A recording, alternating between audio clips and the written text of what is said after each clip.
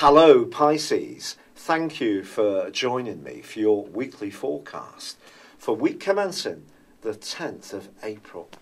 This is an action packed week, and the standout aspect or connection or energy comes from the collaboration between the Sun and Uranus in the part of your scope to do with everyday resources, your sense of worth, and also to do with security. In a very positive way, it really wouldn't be a surprise if you woke up in the middle of the night and had a tremendous eureka moment about an original or inventive idea that you could start off as some kind of small enterprise, or if you work in some kind of bigger environment, your way of looking at things can be left field enough to add real value. You won't get caught up in groupthink so much. You'll be able to stand back and see it and see it clearly. The difference between innovation, but also what can be gained, the tangible benefits. So, a bit of genius can be around you this week, there's no doubt about that at all. With Mars also in a very persuasive part of your horoscope, one which can make you a bit restless, you're certainly needing mental stimulation. And Mercury is tracking backwards in this area too, which suggests that there could be some issues with technology or modes of transport and also everyday communications, which all need a degree of care. But on Tuesday, there is a full moon. And as much as you may come up with some inventive or novel ideas to improve your lot, there could also be some sudden expenses.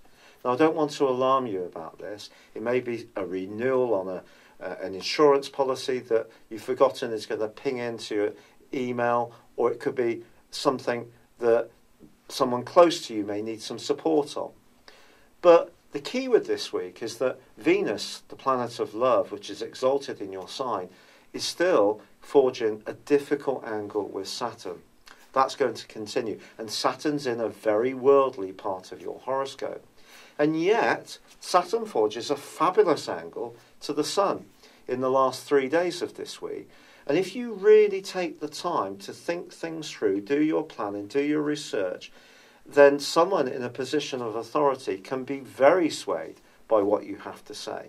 However, if you try to turn on the charm and use a bit of bluff, you could find that someone in such a role could be quite obstructive, difficult, and not very warm to what you want to achieve.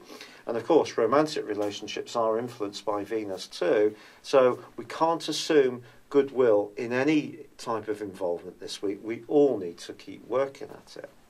The great news for you, however, is that Venus starts to go forwards on Sunday. Now, she's going to be with you through to the 28th of April. Enjoy every moment of it because it is going to be very helpful to you in some ways, as long as you're being realistic in the way you present your personality, your individuality to those in those positions that do influence you, whether you want to deal with these people or not. But I think the angle between the Sun and Saturn, which also goes on into the week following this one, is a chance to really take the great ideas of this week, but make them something much more substantive and can stand the test of time and win a lot of respect in the process. It's been a real pleasure being with you. Thank you for joining me. Good luck. And goodbye for now.